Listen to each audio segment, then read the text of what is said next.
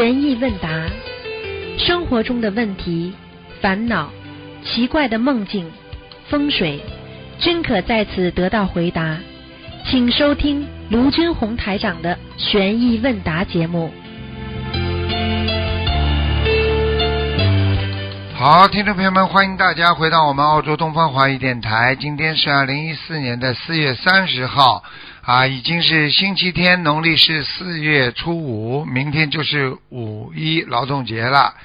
好，那么时间过得很快啊。好，那么今天呢，那个大家记住了，那个下个星期三啊，就是还有三天吧，就是我们的释迦牟尼佛的诞辰日了啊！这个缅怀我们这位伟大的佛陀，给人间带来的佛法，让我们受益无穷。好，下面开始解答听众朋友问题。喂，你好，喂，师傅啊，你好，哎，师傅你好，弟子给您请安，啊，嗯。感恩大慈大悲的观世音菩萨，感恩师傅。嗯，啊，师傅啊，昨天呢，我们墨尔本的那位师兄呢，叫弟子，如果今天打通师傅的电话呢，一定好好谢谢师傅，感恩师傅，感恩大慈大悲的观世音菩萨。他现在的心结解开了，他昨天跟师傅通完电话，脸上的表情都变了，啊，变得跟原来一样了，乐呵呵的，跟同修有说有笑的，啊，一切都是菩萨最好的安排。啊。这个月呢，这位师兄的一对双胞胎胎情没有保住，这位师兄难过了好一阵子，心里想不开，呃，伤心难过呀，也感恩师傅慈悲，告诉了他，呃，这孩子呢是来讨债的，如果顺利出生，男孩子出生会得唐氏综合症，女孩子出生会有缺陷，也感恩师傅告诉他，八月以后会有一个女儿。现在这位师兄呢，心结跟烦恼都解开了，嗯感恩大慈大悲观世音菩萨，感恩师傅慈悲。嗯，你要叫他吃全素的，嗯。啊，他吃全素了，师傅。嗯，因为现在在末法时期啊，吃全素非常重要，因为这嗯是代表一个人的心啊，还有他身上干净不干净，代表他的那个身体和他的灵魂都是有关系的。一个人身上不干净的话，你说灵魂怎么会干净呢？对不对？是师傅。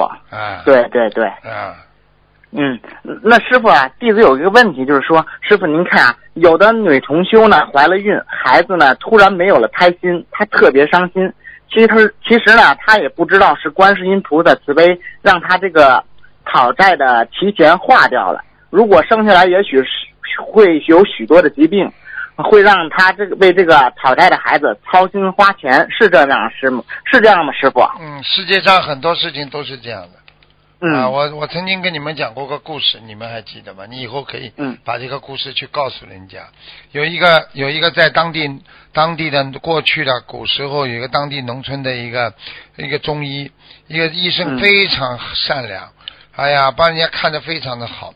但是他三个儿子呢都有毛病，嗯。啊，一个嘛腿没瘸腿，一个嘛不会讲话，啊，还有一个脑瘫，啊，三个儿子现在在在在在在家里，他就天天求，人好的不得了，好的不得了，他天天帮人家看病啊，而且修桥铺路，啊，嗯。最后啊，一个儿子啊被雷劈死了。啊，然后呢，嗯。还有一个掉在水里淹死了，还有一个着火的时候烧死了。哎呀，全村的人都为他祈祷，说：“哎呀，老天怎么不长眼呐、为什么把这么好的啊一个医生的孩子啊，这这么善良，这么修桥铺路，帮人家看病啊，不计报酬啊，这么好的人，为什么把他三个儿子都弄走了？”结果后来他太太做了一个梦，天上降下三个麒麟，结果就是告诉他，菩萨在梦中告诉他太太，就告诉他夫人说，因为你三个儿子，因为是你的前辈子祖上缺德，让他这辈子来讨你们家债的，否则会把你们家全部的债，就是全部讨完，而且把他命，把你们的命还弄掉，就是因为菩萨。因为你们做了这么多善事，所以天上降下三个星真的麒麟，把这个人提早夜报，把他们报完，让他们走了。嗯他们来是就是等于他们来要债，提早要完，他们走了。所以，啊所以这个故事就是你可以告诉他，就是世界上很多事情，塞翁失马焉知非福啊，明白了吗？好了，明白了，师傅。啊，那那师傅啊，就是其实根本原因是他学习学佛修心，菩萨看到了未来，所以呢，菩萨慈悲化解，孩子就没有胎心了，只是我们没有看到而已，是不是这样，师傅？这个问题我要看图腾的，但是呢，对啊。你这个解释，针对某一件事情，我并不是苟同，但是我可以告诉你，世界上只要有因就有果。啊、啊，并不是并不是指他这个人，对不对啊？嗯。但是这个世界上很多事情，人拼命想追求的事情，实际上菩萨有时候不给你，不给你倒是啊。好事。我举个简单例子好吗？嗯嗯，有一个人跟着现在一个要出事的一个副副省长，我是看到这个案例的，嗯。跟着他跟着他很长时间，结果这副省长他贪污了，他不停的要想把东西给他，他就他本来想拿，他非常想拿，非常想拿，因为他太太跟他丈母娘都念经。啊。啊，结果后来他就不要，他就要不到，哎，不知道为什么副省长后来不喜欢他了，啊，把他降职了，好了，他成功了。现在这个副省长出事，一连串的人全部出事，你看他反而升到这个职位了，副省长职位了。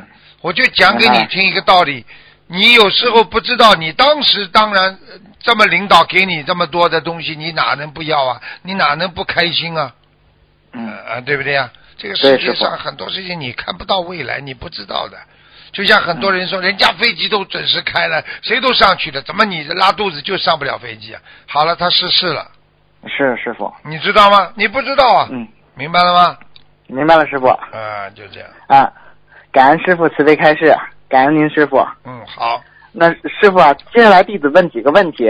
嗯，啊，师傅就是说，例如许愿吃全素，许愿不杀生，许愿许愿戒邪淫。如果现实生活中呢不能很好的控制自己的意念，是否梦中就会破除自己的戒律，容易梦考不过？请师傅开示。对呀、梦考不过嘛，你就是没有没有阴德呀。啊人家说缺阴德嘛，就是因为你在背后做坏事啊，没有嗯聚阴德嘛，就是因为你你在你在梦中没有梦考过呀，就是啊这样。明白了，师傅。嗯，那师傅啊，佛经中记载，佛陀讲法当下在场，多少弟子天上悉发菩提心。我们在渡人时，不仅教他们念经，如果也能渡的让他们发菩提心，是不是功德很大呀，师傅？嗯那当然了，你有这个能量不啦？你是、嗯你你看佛陀一讲法，讲完之后大家悉发菩提心，对不对啊？嗯，是啊，你你讲完法之后，大家站起来，哦，谢谢，吃点吃点素菜走了。嗯 你要看人的啊，这个嗯佛陀一讲话，大家悉发菩提心，对不对啊？顶礼嗯膜拜，大家然后法喜充满，菩萨甘啊普普降甘霖，这这个东西都是佛陀他这个法力无边的，对不对啊？哎是师傅哎，就是这样的，嗯。感恩师傅开示。那师傅啊，就是说，帮人念礼佛会替人背业，那么如果用自己的功德帮别人求消业，会背业吗？师傅？要看呢，你功德大，你就背的少；功德少就背的大。啊，那师傅啊，用功德求消业会激活业障吗？用功德求、嗯求消业，功啊德求消业啊，应该不会。如果你的应该不会呃，应该应该你的功德还是有的，呃，只是消掉你一些业，它不会激活的。嗯，那师傅啊，功德求业障是不是像念礼佛大忏悔文那样，每天有一个定量，多了就容易激活业障啊？师傅？功德不是求业障，消业障哦，消业障是。啊！我听你说是求业障。感恩师傅。嗯你说如果用功德来消业障，啊，嗯你也要看的，消，嗯你只能说针对某一件事情来消，嗯，嗯，明白吗？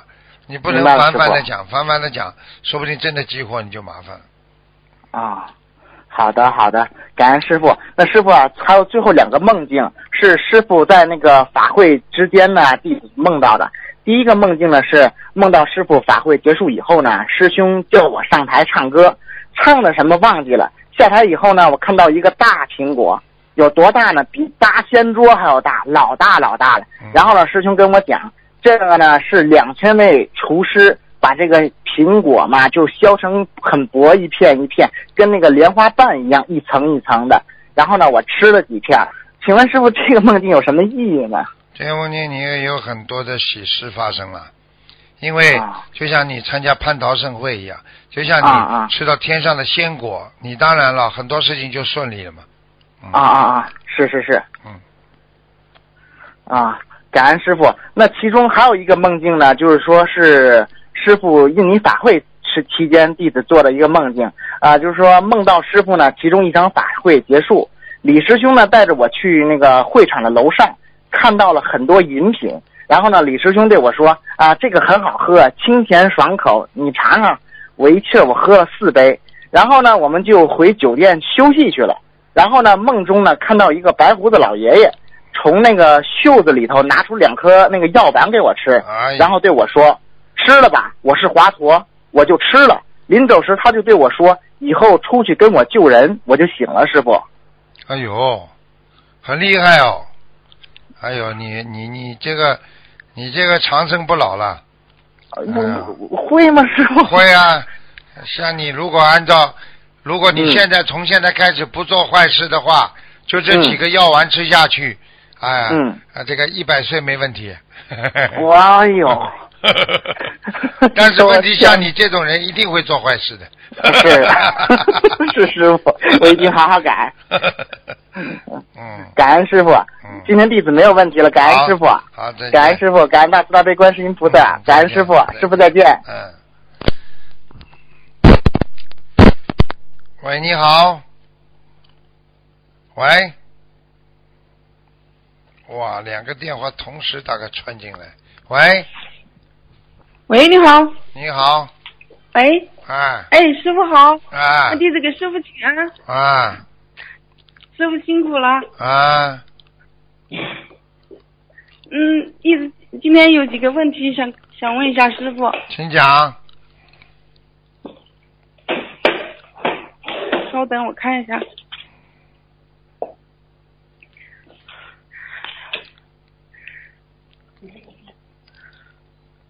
嗯，第一个问题，嗯、就是我们去雅加达，就嗯开法会的时候，就是有同修不是嗯，不是你去领餐嘛？领餐就是有些同修，比如说 A 同修跟 B 同修领餐了，但是 B 同修没有吃，没有吃，导致这个这个餐呢就嗯、呃饭就嗯坏掉了。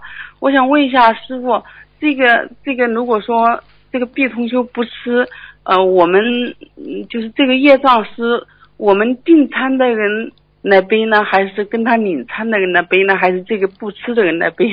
不吃的人背啊，嗯不吃的人背哈。啊，因为领餐的人不知道他不吃啊，嗯，一定有业的，啊，嗯，好的，感恩师傅明。白吗？嗯，还有，嗯，还有第二个问题是，嗯，同修，嗯、去雅加达开法会，就是，嗯，同修的母亲也是修心灵法门往生了，完了，师傅，嗯，在悬疑问答节目里给同修解梦，啊、同修的母亲已经超脱六道了。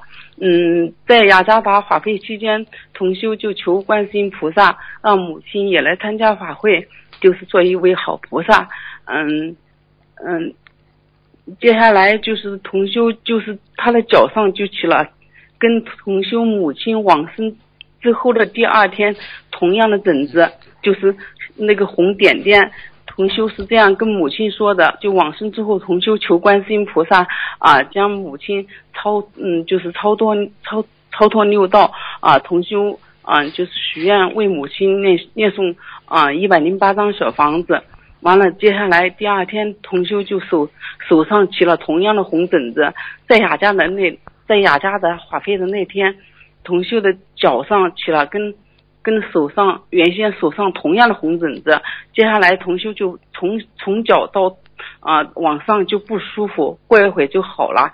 同修想问，母亲是不是来到了法会现场？他做梦做到他妈妈，他妈妈走啦。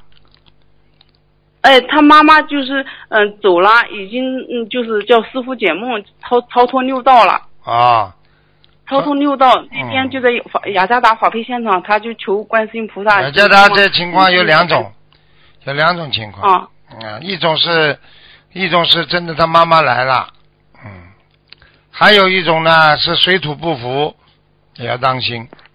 嗯哦，他 水土不服啊。啊，哦很多人皮肤有点有点发出来小红点，是水土不服，过一会儿就好了。师傅这个人是最讲实际的了，是灵性就是灵性，不是灵性就是正常的皮肤啊，有点水土不服，过几天就好了，没关系的。哦，呃，是他过几天后就好了，嗯但是这个红疹疹跟他妈往生第二天，他就跟他跟求观世音菩萨，就嗯就许愿跟他妈念小房子，因为他妈也是以前有修心灵法门，他就许愿跟他妈念小房子，结果嗯他的手上就起了同样的红疹疹，过一段时间就好了，啊，就跟那一模一样的红疹疹。有这个可能性，有这个可能性。他妈妈，哦他妈妈把最后一点点的这个业障也让他背了。哦哦哦哦，嗯，好，感恩师傅。嗯，还有一个问题，请师傅等稍等。师傅好，师傅好，弟子给您请安。啊，讲嗯、吧师。傅现在有啊有几个问题啊，就是请师傅开示一下。嗯，师傅就是没修行的人，婚姻出现的问题一大片。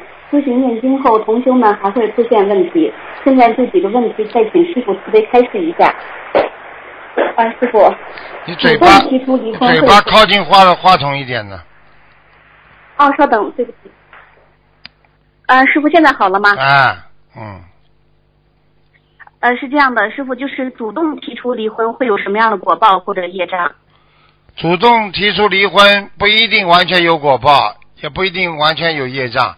如果你是按照命在走，哦如果你命中跟他两个人恶缘是走命的话，那到了这个时候你就会跟他离婚，听得懂吗？因为你们两个人的缘分尽了。这个东西呢，就是不要去续缘，不要去把那种恶缘相加，叫增上缘。你增加了恶缘，那你就有业障了，听得懂吗？哦，那那被动离婚那有什么样的果报或者业障呢？被动没有什么，被动离婚的话没有办法，他要离婚，他要破坏这个姻缘，他把这个缘分破坏掉之后，你就只能随缘，这个只要跟菩萨讲就好了，应该没什么业障的。但是呢，如果哦你们两个人一直搞啊搞啊搞到最后造成被动离婚，那么还是有业障，因为你们两个人的婚姻在生活当中造成了很多的麻烦，两个人都有业障，明白了吗？哦，那就是还要跟菩萨说一下是吧？要说的，要忏悔的，嗯。那那嗯、呃，那是念礼佛吗？还是跟菩萨说一下那个？要要念礼佛的。嗯举个简单例子，虽然最后这个男方提出来要离婚了，但是也是你们两个人哦没有生活好呀，整天吵吵闹闹，搞来搞去啊，这还不懂啊？啊嗯，啊，怎么会没业障啊？嗯，那需要念多少遍礼佛呢？每天念啊，五遍七遍就一直念了，那总共念多少遍的大概？总共念到死，听得懂吗？哦，那嗯就专门为离婚的事儿要专门忏悔是吧？嗯，不可以呀，至少这个给孩子、嗯给家庭造成了困扰，至少这个是一种缘分，你这个因种下去了会有果的，所以你最好一直念。哦，那已经都离了婚了，都当时没有意识到被动离婚也会有果报或者业障，就没有被动离婚现在开始念也记住了，被动离婚业障比较小，主动离婚提出来的人是把这个姻缘破掉，所以他的业障重。好了，嗯，啊，小、嗯小和大不一样的，小偷和强盗嗯两个概念，听不懂啊？听懂。呃，师傅曾经说过，碰到恶缘不说话，可以暂时离开这个不好的气场。是不是说这个恶缘还得化解？恶缘是不是不可以逃避，只能化解？对，恶缘来了，你一定逃不掉，但是你只能化解它。你说大家都能够逃避恶缘，那这个那这个因果怎么报啊？就是你上辈子做了恶事了，他这个恶缘来了，你逃都逃不掉。只是说你大事化小，小事化无呀，但是还是有事呀，嗯明白了吗？嗯嗯。嗯，那现在好多师兄都误解了，都说师傅说的可以离开，可以避开，所以在家庭修行中出现了逃避的现象。什么叫逃避呢？逃避也是一种方法呀。比方说啊，嗯比方说恶缘来了，你当然可以逃避啊，逃避是一种方法呀，不要跟你吵呀，嗯不就在化缘吗？也是化缘的一种啊。啊，不逃避怎么？被他骂，被他打？嗯，你说对不对啊？对，啊，这叫恶缘，继续继续，大家我来承受恶缘。你当然了，逃避之后你就要靠念经了呀，要化解呀。你不逃避，你被他打，这个男人发疯，这要身上有灵性，拿把刀，上辈子你把他杀了，他这辈子要杀你，你当然先把自己命保住啊，然后再念经化解啊，不懂啊？嗯人家同学没错啊，啊、师傅是这么讲的，对不对呀？嗯嗯啊，逃避什么？逃避也是化缘的一种方法呀。啊，嗯。好了，那如果这个人命里边有两次或者三次婚姻，我们学佛念经了，这一世不离婚，拼命的念经还债忏悔，就可以换掉还掉这些情债了，是吧？很难。就是说，如果这种情况有的，比方说这个人已经第二次婚姻了，她再不想承受第三次婚姻了，这个老公呢对她也不是太好，但是她一直咬着牙继续，但是等到他一定的时候，第三个婚姻又出来的时候，那么被她老公发现了，她老公把她暴打一顿，或者把她把她怎么样怎么样，最后呢，她咬咬牙，还不就是坚决不离婚，跟那个男的不好，那么最后把这个婚姻保住了，但是付出的代价很大。我讲话听得懂吗？如果你念经哦化解化解，那个男的只是对你非常有好感啊，追过你几次，一看你坚决不理他，那就拜拜了，哦，明白吗？嗯嗯，啊，就是这样明白。啊。那那师傅有师兄问，因为自己表法不正，学佛后没有做到学佛人的样子，反而以学佛为借口不做家务，远离家人，不参加家庭宴会，怕影响自己许愿吃全素的愿力，最后造成与家人格格不入，让家人误解学佛就是这样的，最后因为学佛而离婚，断了对方慧命，让对方及家人和他周边的人对佛法生不起信心。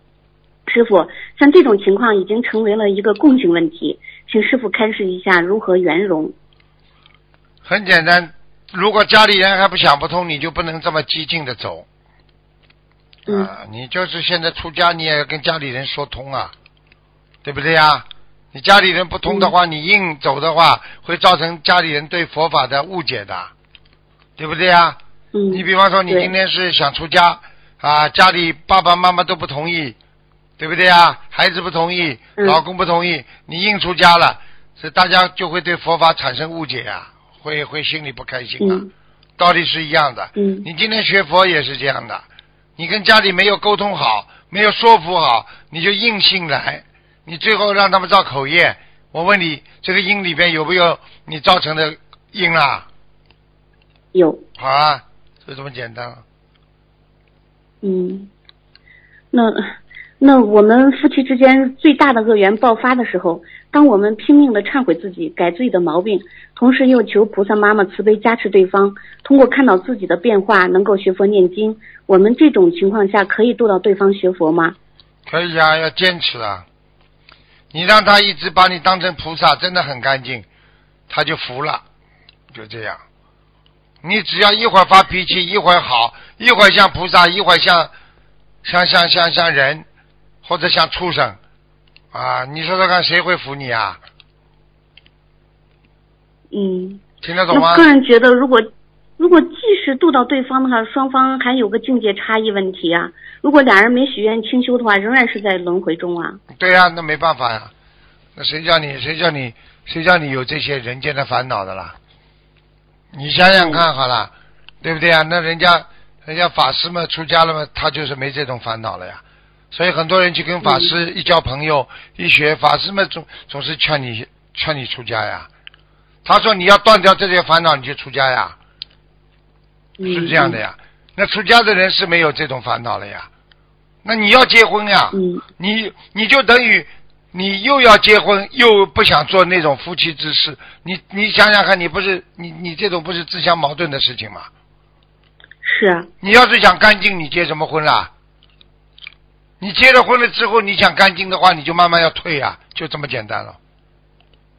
对，是，好了，有什么办法了？退到最后嘛，法师喽。但是这位台长来跟你们说，我不劝人家这么做的，因为你是居士，你境界没那么高，你就先把家里维持好。你连家里都维持不好，你学什么心，修什么心，学什么佛啊？好了，只能这么讲啊，明白了吗？嗯明白，啊，不能劝的，这么多的居士，居士多呀，法师是开悟者，开悟者少呀。好了，嗯，明白。谢谢师傅。那个，我们师傅，我问您那个，就说我们念经的时候是天上接收我们念经的信息。如果一个人杂念很多的话，那么我们念经的信息传到天上就会减减弱吗？谁告诉你天上接收你的信息啊？傻姑娘，啊，自己、啊自己都蛮会想的嘛，宇宙空间任你飞嘛，飞翔嘛。念经是天地人三合一，明白吗？嗯念经是什么？自我一种修养。念经是念到自己的八十天中，进入九十天中，找回佛性。当你自己完全念经的时候，跟天地有感应，并不是接收，是天地有感应。因为你念的东西嗯是菩萨的经文，所以菩萨就会知道你在念经，他就会给你更多的加持。听不懂啊？哦，啊，还接收哦、明白了。啊？你以嗯为接收嗯，感？恩师兄，呃，感恩师傅。你要是修得好哎师傅，我情愿做你师兄的。对不起，对不起，师傅，说错了。啊，讲啊，嗯，师傅有一个同学梦见老虎，然后他第二天后背难受，这个是指的是他他这个什么意思？老虎不好的，梦见嗯猛兽，它攻击你更不好。如果梦见野兽，它不攻击你，就就是你会有无形的压力，会有一种无形的嗯啊人在虎视眈眈看着你。很多人过去在单位里就是的，他老做到梦，但是梦见老虎不攻击他，结果呢，果然有好几个人就这么一直嫉妒他，啊，就这样。那这位同修他是有乳腺癌的，然后他念经的过程中，就是有一天梦见了老虎了，然后第二天他后背就难受了。啊，这个不是太好。这个梦见老虎总不是、总不是件好事情，嗯，那他要要许愿多少张小房子呢？一直念。乳腺癌的话，哦身上一定有灵性，要把它念掉。一般的二十一张，二十一张，第一波至少八百张，八百张之后再二十一张，二十一张，明白吗？总结了一千张。不止啊，念到好为止。哦，嗯，那他不用特意给这只老虎念吧，是吧？用不着。虎精呀、哦人家说白虎星呀、白虎星就倒霉呀、哦，就是他已经倒霉，就是他他已经倒霉。对他他是那那段时间不舒服，特别难受。我早就跟你说了，身体上任何部位不能去乱动的，任何部位乱动的话，它就会就会受伤。你去看好了，啊，哪个部位经常动，就哪个部位受伤，听得懂吗？啊，他也许愿没有那个夫妻之事了。哎呀，过去呢，过去呢，啊啊，对是，啊，嗯你这个东西不是说你现在不做，对不对啊？嗯嗯呃，那那个那个，嗯现在抓出来的一个假和尚，他他他过去是个杀人犯，他他到庙里去，躲在庙里出家修行了，对不对啊？你看看看，嗯后来呢，不是照样抓出来啊？抓出来的时候他杀人了没有啊？他过去啊，过去业障爆发了吗？激活了吗？果报到了吗？就抓起来了，明白了吗？嗯啊，嗯嗯。啊，师傅，我现在分享一个我们本地另一位患乳腺癌同修的分享。嗯啊，本地同修今年五十岁，去年六月查出乳腺癌，腋下淋巴也有癌细胞，随后住院手术和化疗，医院给定了八次化疗，二十五次放疗。去年九月份在进行第三次化疗时遇到了心灵法门，因为不是汉族，有点顾虑。到了十一月份才开始功课。他发愿念一千张小房子，放生一万五千条鱼，不杀生，许愿吃全素，身体好了现身说法，弘法度人。他放生两次以后，化疗完难受，伤口及浑身痛就消失了。后面五次发化疗、放疗都没有做，配合吃了一些中药，休了一个多月就继续上班了。到现在念了三百多张小房子，今年三月份复查，身体各项指标都正常。他非常感谢观世音菩萨和师傅这么好的法门传到人间，师傅白话佛法和录音让他知因懂果开悟很多。现在他开始学着现身说法度人了。他说他要走上脱离六道的回家之路。嗯，感恩师傅。很多人，很多人就是给他先吃苦，让他到生死关头，他才会悬崖勒马，才会转危为安。所以很多人一辈子就是不吃苦头，他不会转弯的。明白了吗？啊，对，嗯，现在这个癌症这这个爆发力很高的都，轻度吓人，非常高。我告诉你，你记住了，你任何部位去刺激它，它一定会生不好的东西的。现在人的身体不能这样，你就是鼻子上长一颗东西，你不停的用手摸，摸到最后这地方就会越长越大，越肿越大。你听得懂吗？对。所以任何地方都是这样的。你现在很多很多身体上的部位，实际上它这种都是有纤维的嘛，还脂肪啊，对不对啊？还有那些非常敏感的，它你你这个东西不能去碰的，你越碰越越碰它就会长出很多东西的，因为它会有一种刺激，对这方面刺激的话，它就会长出一些不好的东西出来。所以，所以我告诉你，菩萨教育我们，叫我们要爱护自己的身体和慧命一样的。啊，就这个道理。为什么叫我们戒邪淫啊？一个淫荡的人，他一定会出事的。啊，你知道吧？身体任何部位，只要你过分了淫荡了，你看看看，腰酸背痛、妇科病，什么都出来了，还要讲啊？是啊。好了。对啊。好了，明白了吗？嗯，感恩师傅开始啊。嗯，一个师兄做师傅节目录音连接法布施，几天度到了比较多的新人。也度到了修的过程中遇到问题的老同修，他们的问题比较多，可不可以建一个问答群，让这些同修把不懂的问题或遇到的问题提出到群里，让其他老同修帮助分析原因，合理调整功课，正确运用三大法宝，这样做合理如理如法吗？首先，老同修什么概念？这个老同修自己修的怎么样？这个老同修有没有把师傅的白话佛法好好看？这个老同修不要倚老卖老，这老同修如果不如理不如法，自己帮人家背不说，还有业障，就这么简单。嗯。为什么要找师傅啊？为什么多看呢？找什么老同修啊？很简单，师傅书上都有，叫他好好看，一定会看出他门道出来的。自己修，自己觉得老同修，你帮人家讲的不如理不如法，你就帮人家背业。你讲的不如理不如法，护法神就惩罚你，就这么简单。嗯嗯，明白吗？那么我们一般帮助同修回答问题的时候，都是搜在官网上搜师傅曾经开示的案例，对，然后把那些案例发到群里边，让他们自己去参考。对了，这个是最好的方法，这个是保大祥的，吉祥，嗯，保证你啊不会大错啊，而且非常吉祥。啊，就这么简单啊！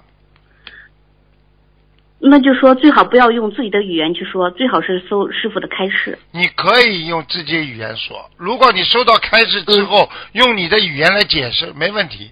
问题你不能用自己的语言乱说，师傅没讲过的东西乱说，你就叫你就叫自说自话，明白了吗？嗯嗯嗯嗯。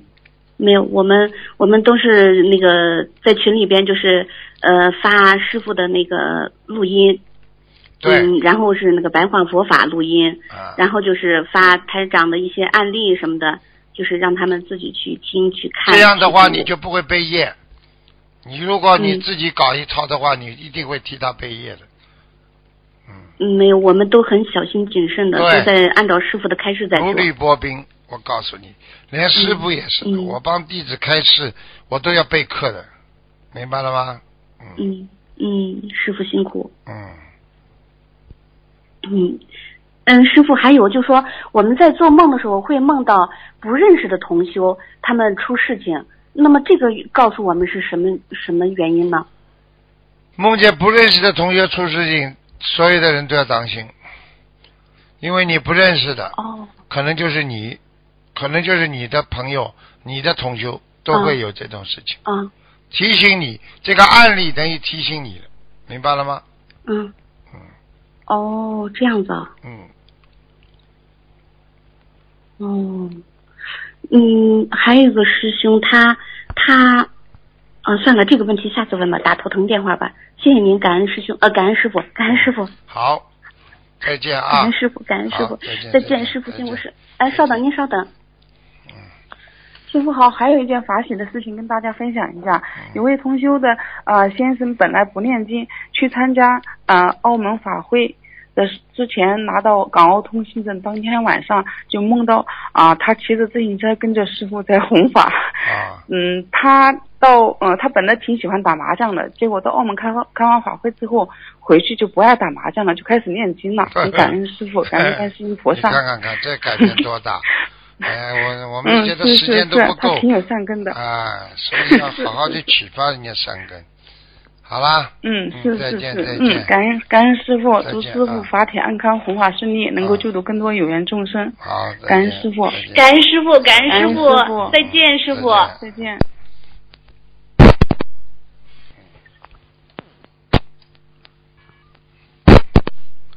喂，你好。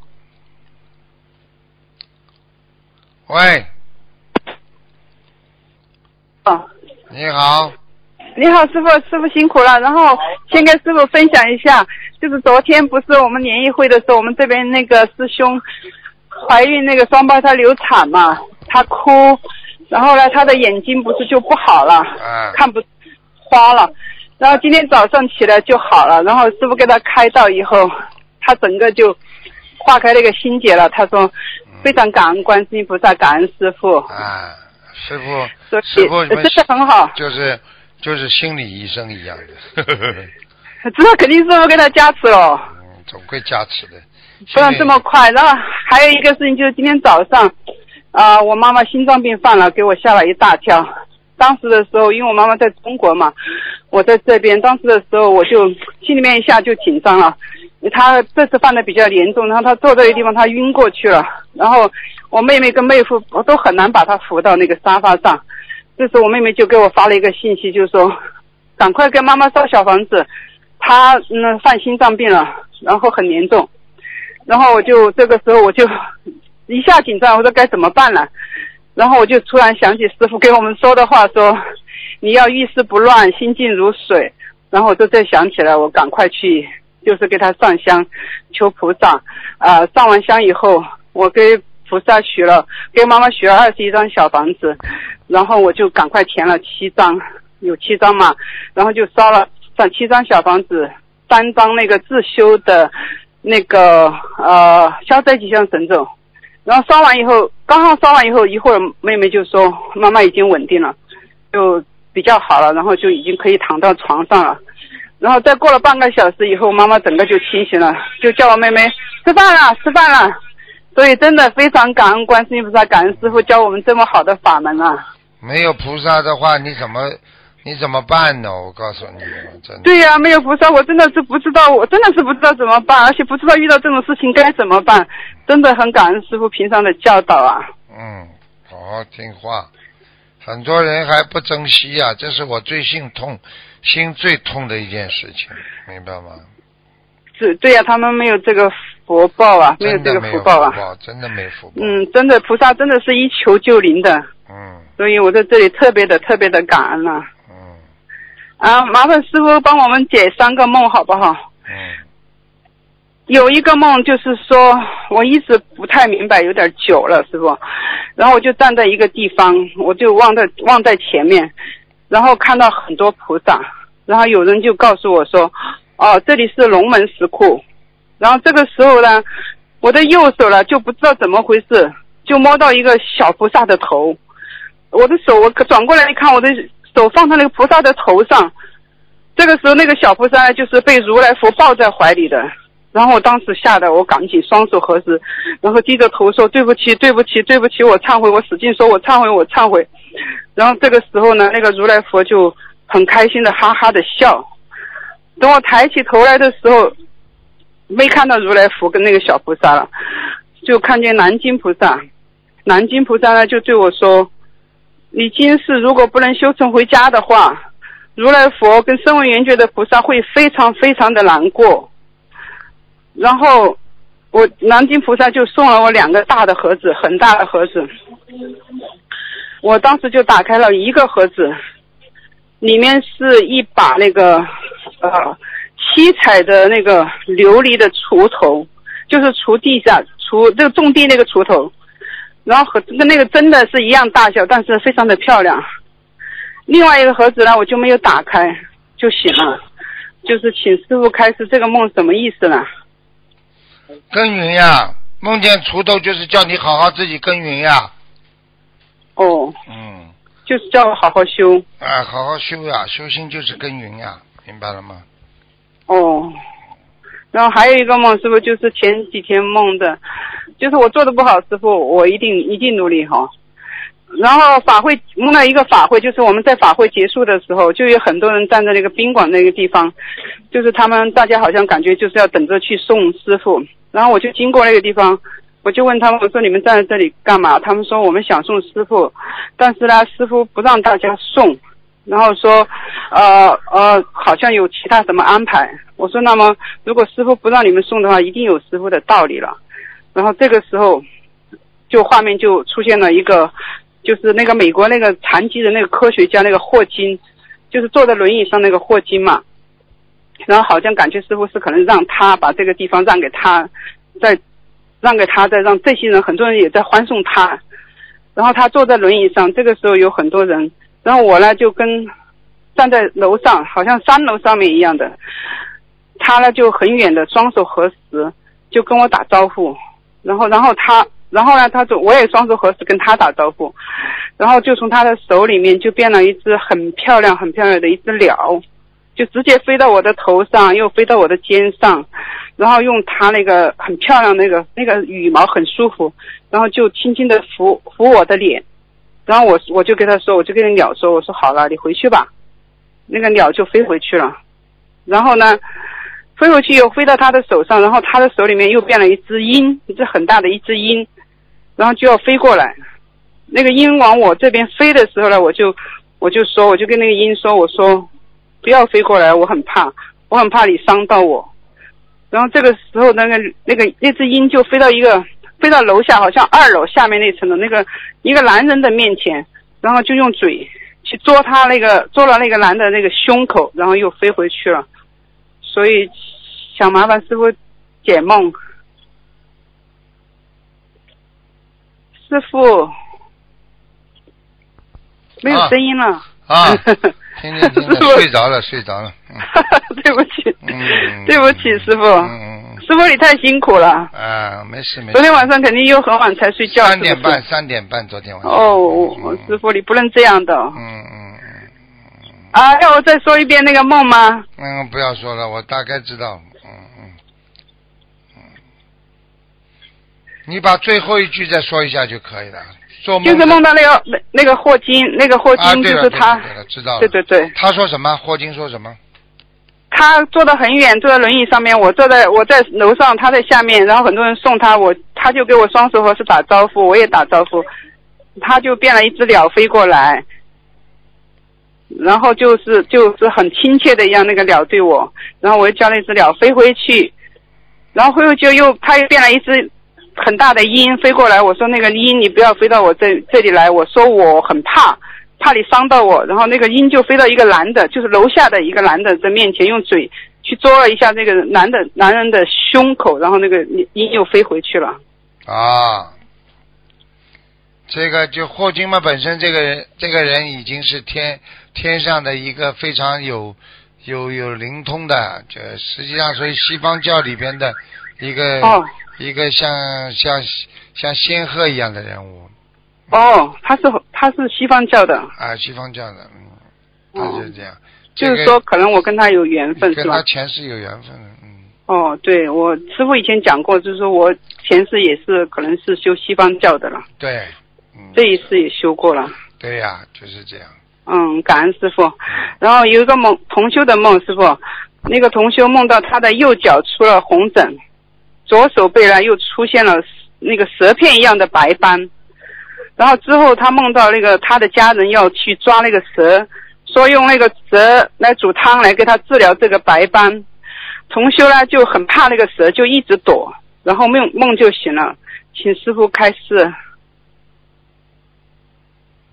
谁在谁在躲啊？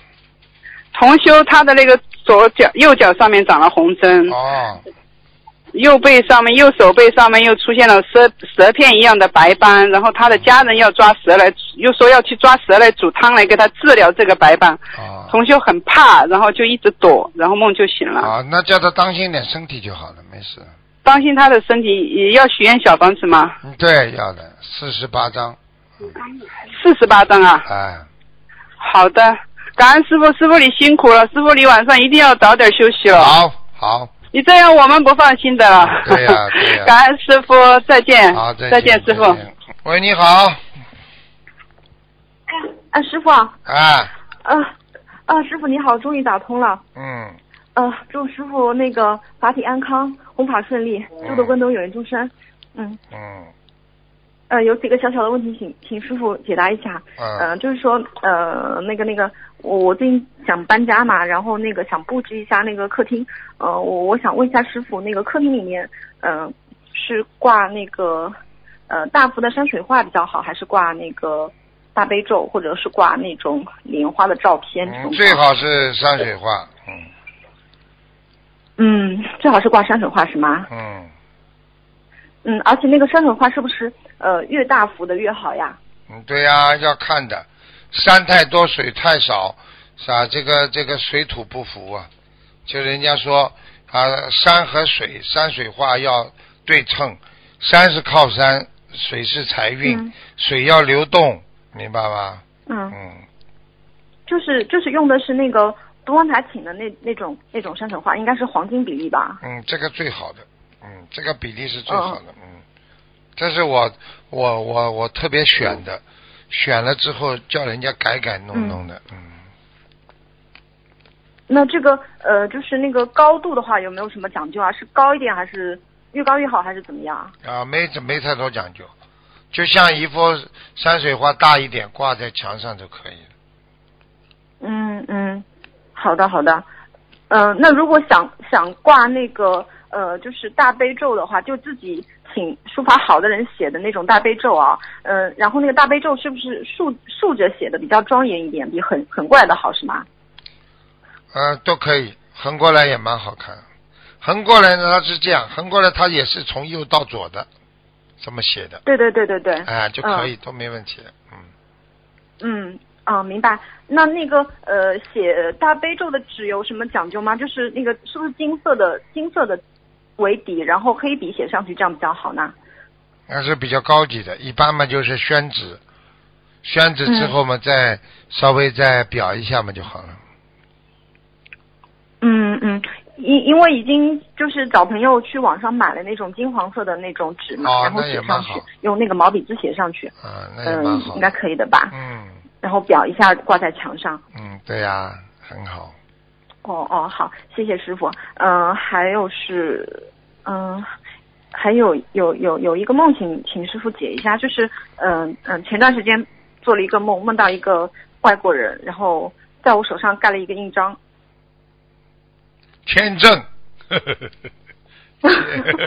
不，签证，我嗯，呃，说明说明就是你要是以后想出出国就有签证，啊，以后等着吧，有机会的，嗯，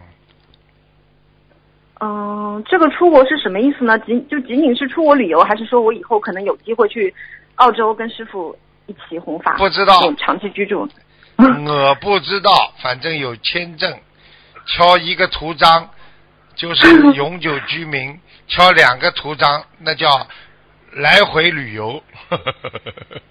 师傅啊，是这样子的，就是那个签证啊，是，那就是那个印章就很奇怪，我看手上是那种类似奥迪车的那个，就四个圈，就几个圈圈那种。哦哟，那很灵的，嗯，那这个有什么讲究吗？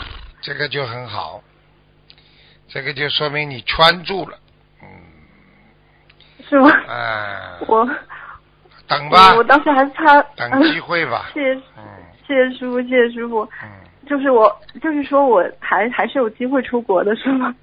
一定的，嗯，呃，我真的是很很想师傅，但是嗯，现在哎呀不好说，就是哎，嗯机会就是很少。好好等吧，好吧，嗯，到时候就知道了，好的好的嗯，好的，感恩师傅。嗯，我师傅的话最灵验了，我我已经深有感触了。嗯，还有，嗯、是这样子的，那个那个有一个我有一个朋友，然后他他最近也是，嗯，他也是想念经嘛，然后也在学大悲咒，然后他他跟我说，他曾经就是大概有三次以上吧，梦到同一个梦，就是他自己他自己是一条黑色的龙，然后然后在一个悬崖边上，就是就同一个场景，然后在旁边有一棵树，啊，干嘛啦？嗯，这个讲啊，就然后就是一个就是一幅画面，然后这算什么啦？什么都没有。仙啊仙境嘛，就是先进啊。这个画面有什么好啦？到公园里就看得到的画面，不要拿出来讲，听得懂吗？好了，啊，好，那那如果就这么这他，因为他梦到同一个场景已经很多次了，那是不是可以基本上可以确认他他以前就是在天上是做瑞兽的呢？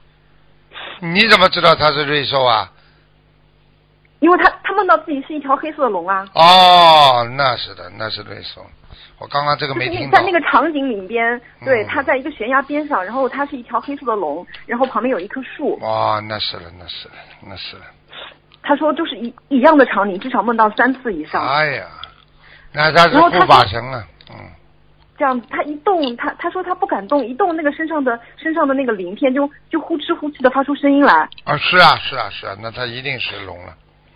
哎呦，厉害！啊、男的女的啦？嗯这个同修男男的男的。啊，嗯，就是就是就是最近在追我，哦，在追你啊，龙追你啊，你就 你就是凤了。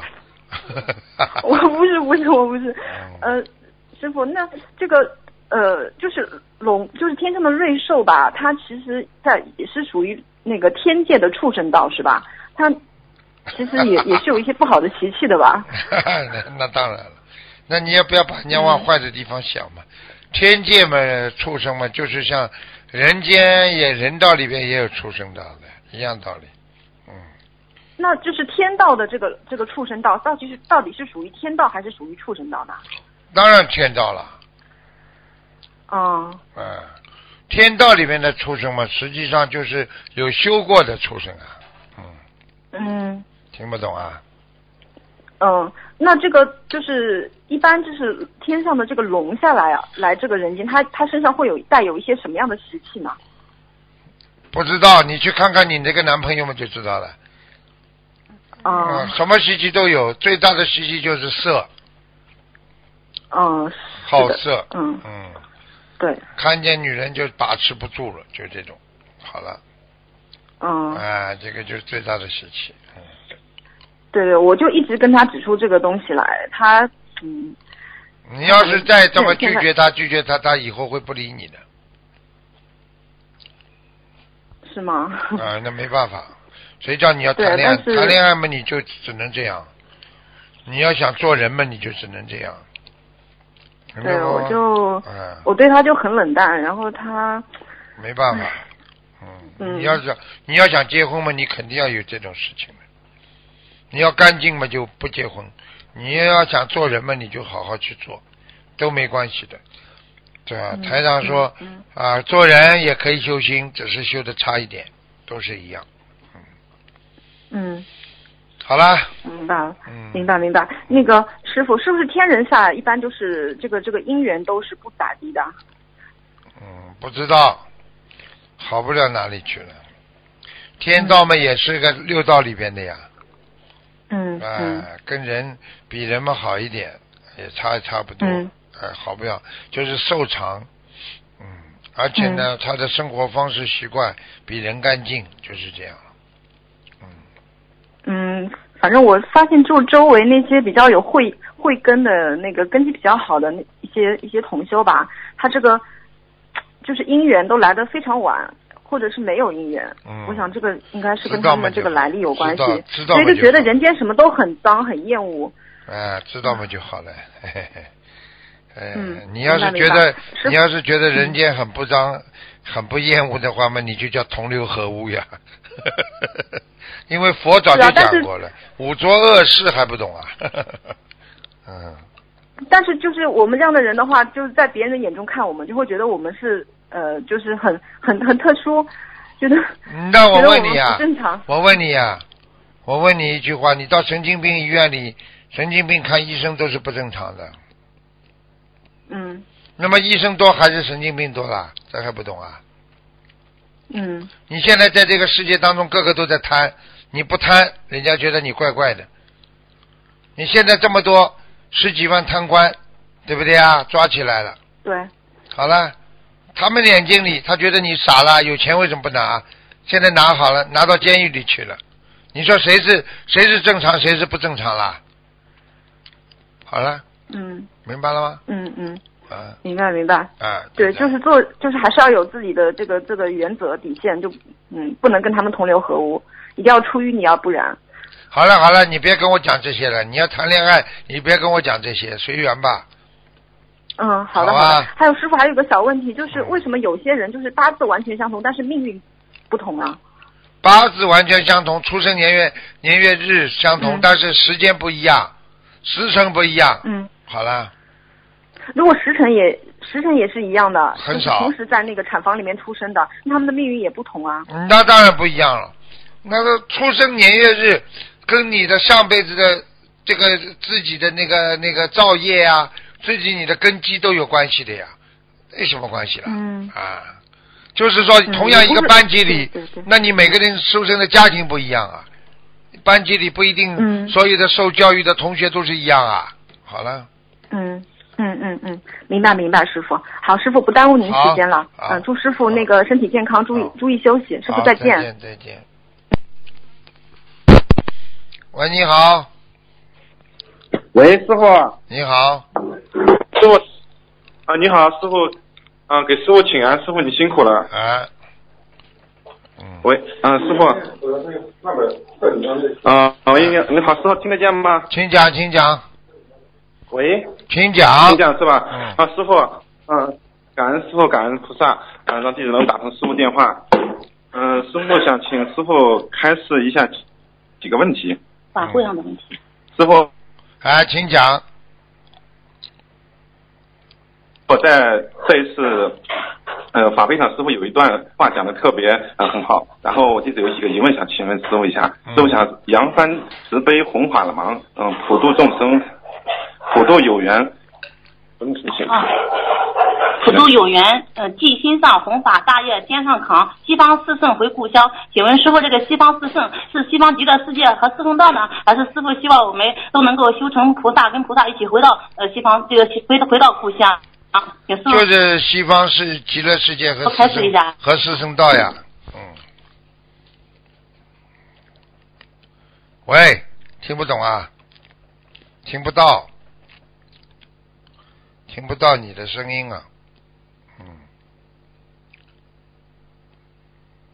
喂，我告诉你，就是敬师傅，哎，好了，喂，哎，赶快讲吧我，问你的 WiFi。嗯不要看你搞快点就。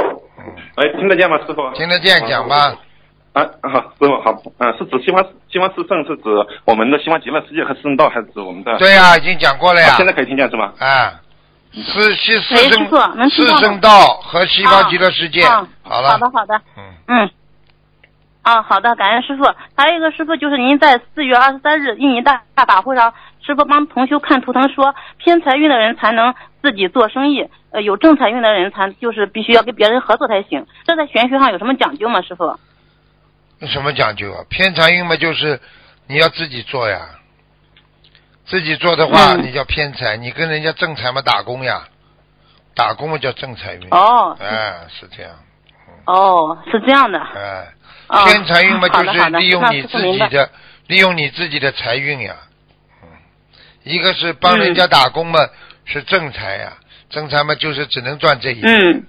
呃，赚也赚不多的。嗯，嗯，您在那个白话佛法里讲到，就是股票呀，呃，就是证券呀，这些都是属于偏财的，所以我想问一下这个，对。呃，您说偏嗯偏财不能做才能自己做生意，不是很清楚，就问一下。呃，就是这样。股票什么东西你嗯不害人，你做一点也没什么不好。你只要做生意嗯不要害人的就可以了。你自己做生意你不害人嗯也可以，但是从某些意义上来讲，嗯对不对？你帮人家打工，你当然没有自己冤结了。呃，老板骗人，老板、嗯老板克克扣你们，那是老板自己造孽。你是打工赚钱，所以、嗯所以挣的，你不会有嗯造什么业。但是你自己做老板，你会克扣人家，你会自己对人家不好，怎么样怎么样，那不就是、嗯你就等于偏财了嘛，偏的嘛，对不对啊？道理嗯都是一样的。对的，对的，嗯，好，感恩师傅。啊，师傅，这次那个因雅加达和冰城两场法会真的是、呃、太殊胜了，我们都很法喜。您的开示也特别精彩，我们都感觉到这个法会也非常殊胜。啊，这次我也有幸带我弟弟和弟妹一起参加了法会，啊他们也以前也修行一段时间，但是一直不精进，然后也没有许愿吃全素。这次参加两场法会之后，他们听了您一场开示就许愿吃全素，哦然后回来后也非常精进。然后非常感恩你，现在我们全家都是共修了。然后我爸爸也是上次参加完新加坡法会回来就许愿念经了，每天都很开心的念经 做功课。感恩你，我们全家能一起修啊，然后家庭和睦。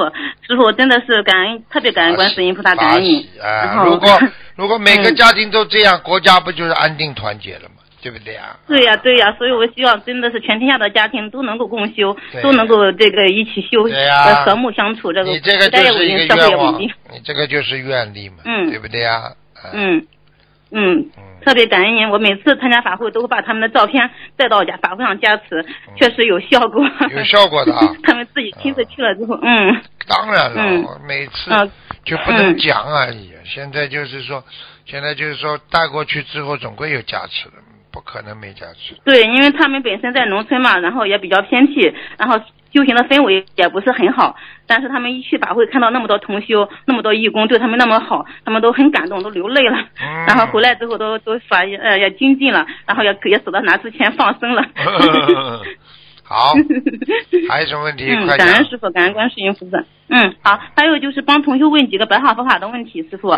这白话佛法，您第八册讲到有一个要用一向法转境界。您在白话佛法里讲到说，一向法是就是一心一意只对一件事情，然后是实实在在这个法，呃我们不是很清楚，能不能师傅您能具体开示一下吗？这个一向法。一项法，一项法嘛，就是针对某一件事情，比方说一门精进，也就是一项法。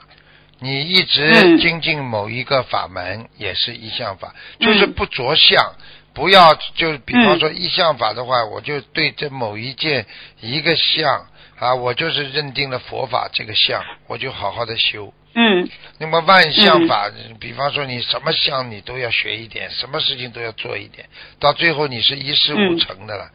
所以嗯着相着相是着的外层的相，并不是着的这个说的这是一相。一相实际上就是我要针对啊一门精进，我好好的就学佛法就可以了。你看，在我们嗯澳大利亚很多人就是的，今天学这个西方教，明天学那个教，后天学那个教，什么都学，什么都懂一点。嗯最后他什么什么都不教，听得懂吗？嗯。最后回到家里睡觉，嗯，啊，明白了吗？还有就是师傅，您平时就是批评我们也好，然后表扬我们，其实我们都要朝，就是只需要想，师傅对我们好，师傅都是为我们好？这也是一项法吧？呃对呀、你想想看呢，实际上实际上就是只要是在这个法门当中的，大家好好的嗯修，把大家在一起、啊，一起一个一，对不对啊？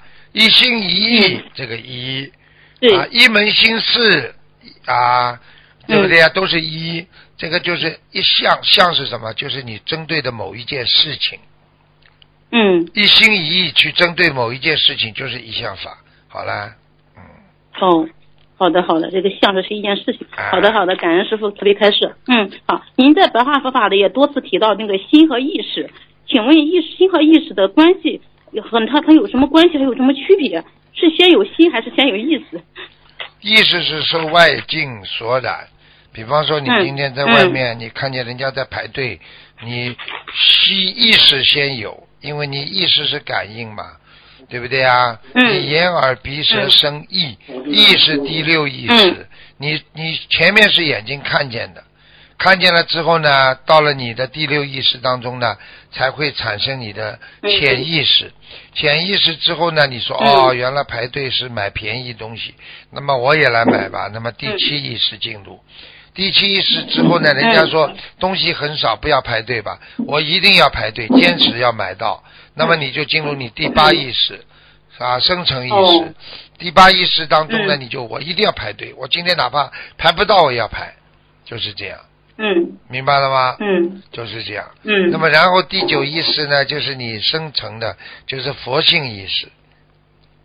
嗯佛性意识嘛是最里边的，所以你要记住意识和心它是什么关系？意识在影响着心，嗯但是心也影响着你的意识。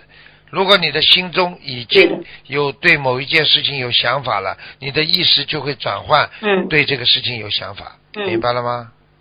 嗯，明白了。感恩师傅一直没有弄清楚这个问题。嗯 还有就是师傅您一直强调白话方法有很多的能量和智慧吧，然后他们就是很多同修就想有个疑问，想问师傅这个不同的册，呃，不同的第一册或第二册或者第八册、第九册，还有不同的篇章，他们的每一篇的文章的能量是不是也不同？应该说是不同的。如果你看了开悟了，嗯你这个能量就拿得多。我是告诉你们，嗯如果你今天看了白看，你就没什么能量拿到。如果你经常找那些简单的看，你要看的每篇文章能量不一样的，生的能量能够让你嗯开悟，你是不是能量就大？嗯对不对？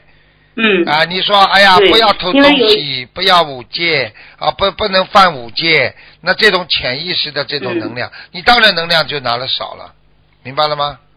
哦，啊，明白，就是说这种就是他拿到这些能量也跟他的根基还有悟性有关系，是吧，师傅？对呀、你能看得懂的话，你当然能量拿得多了。举个简单例子，嗯一房间有金真的金子和假的金子混在里边，你如果今天嗯这个人有能量的人，他找到的都是真的金子，他拿出去，他才值钱呢。很多人不懂什么叫真金假金，他不懂，那他拿着很多假的金子拿回家了，那他的能量不一样了，嗯明白了吗？嗯，明白明白，因为很多同学说看第八册、第九册，感觉能量特别大。马上第十册要出来了，嗯，我们期待第十册的出来，嗯，反正会好好学的，感恩师傅。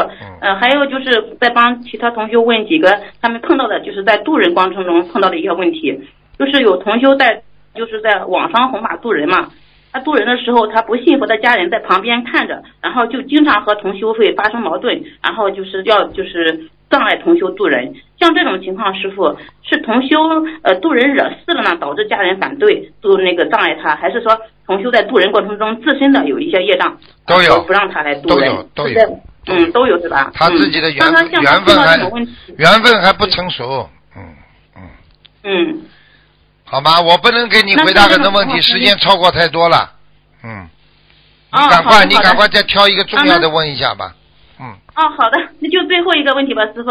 这个一个同修他在新加坡的时候就呃就是请菩萨那个加持他，他能够呃有多的更多的时间和精力来学习呃佛法，然后助人，然后他就想工作上能够有更多的时间。这段时间呢，正好有个工作，他本身自己的工作是一个比较好的事业单位工作。啊，这段时间有一个公公司想请他去做，然后他就做梦梦见师傅在跟他在一起，在一起写一个简历，然后工资也待遇什么都挺好的，时间也比较宽松。他想请教师傅一下，他这个能不能换，能不能调动一下这个工作？嗯嗯，如果师傅在梦中说同意他调，一定可以调。哦，是这样，因为就是梦里师傅您跟他在一起，他正在做简历，然后梦里还就意思就是说你还让他给他给给你打电话的意思就是、嗯说这个问题要问问你。呃，如果 如果能够调能够调换就调，没问题的。对，因为他现在的工作的心就是没有那么多时间来念经啊，来度弘法度人，啊他想更多的修行，然后时间上嗯充足一些。好了，那自己去看吧。嗯，好好，感恩师傅，祝您节日快乐，感恩感恩观世音菩萨慈悲。好，嗯感。恩师傅，师傅你辛苦了，好再见师傅，我们一定好好修，感恩师傅。好，再见，感恩师傅嗯嗯。好，听众朋友们，因为时间关系呢，节目就到这结束了。非常感谢听众朋友们收听广告之后回到节目中来。